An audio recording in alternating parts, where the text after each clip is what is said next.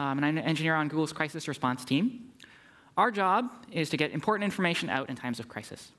And today I'm going to tell you about a tool that we've used very effectively to help us do that job. That tool is now open source, so you can use it too. As you know, when a crisis strikes, there are many important geographical data sets that can be vitally useful to survival, to recovery, uh, to the response effort. Uh, just to pick a few random examples of those data sets, uh, the National Weather Service, for example, puts out forecasts of hurricane tracks. They put out maps of floods. Uh, FEMA publishes maps of evacuation routes. GeoMac publishes maps of wildfires, and so on. It takes tremendous human, organizational, and technical resources to put these data sets together. But these maps are only effective if you can get the right maps in front of the right people. Today, all of these maps are hosted on different websites. So not everybody knows where to find them.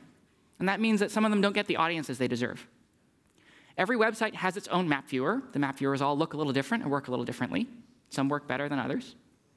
Um, and perhaps the biggest problem is that because the data is all separate, it's hard to see it in context. In disaster relief, we're always talking about coordination, right? So here we've got the Red Cross. They're publishing the status of their emergency shelters. But even if other relief organizations follow their lead and also publish their map operations, um, there wouldn't be an easy way for you to combine all of that into a common picture so you knew what everybody was doing. So we've got three problems. Relevant, high quality maps are not always easy to find. The map viewers out there vary in quality. Some are awkward to use, some are not accessible on smartphones, for example. And the data is isolated, so it's hard to see it in context. Now, if you're a map publisher, there are professional GIS tools out there for you. They will help you take your data set and turn it into a beautiful PDF or an image for your website. But what if what you want to do is take two data sets, two layers from different publishers who have never heard of each other?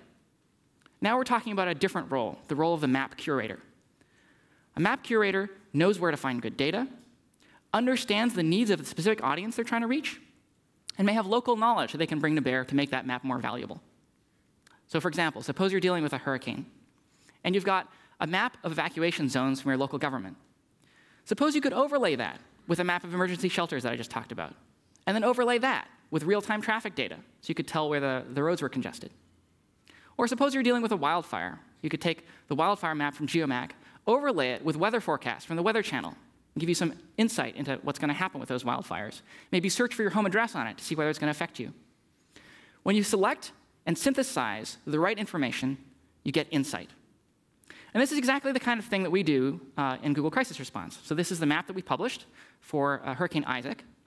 And we want it to be easy for anyone to make maps like this. We think there are lots more people out there that can play a really valuable role as map curators. And they shouldn't have to be JavaScript programmers or GIS experts in order to do this. So we built a tool to help us do this. Uh, in this tool, you can just click to create a map, click to paste in a URL to uh, any KML file out there on a web, and it becomes a layer or a GeoRSS feed, it becomes a layer. Um, you can incorporate a URL to a tile server to get a raster layer or fusion tables or Google Maps engine layers. We're trying to increase the number of layer types that we support all the time. To be clear, this tool does not host your data. So if you have tiles you want to serve, you need to find some other hosting service that will serve them for you. But on the flip side, if your map mashup points at some GeoRSS feed out there, then as soon as someone else updates that feed, your map will also be updated because by incorporating all of the layers by reference, all those layers are dynamic. Your map is a live remix of your source data.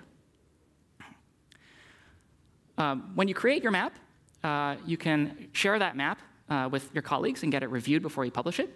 Um, you can designate a particular version of the map as the published version, so you can continue working on the map and making changes to it without affecting what the public sees.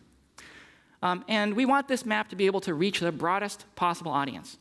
So uh, we designed the map viewer so that it accommodates uh, and adapts to different screen sizes, um, rearranging and collapsing different parts of the UI as necessary. So you can see the map um, in a browser, uh, but also embedded in an iframe or on a tablet or on a smartphone.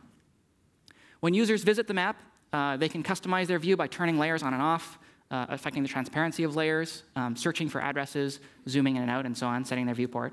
And then they can, collapse, they can get that in a URL.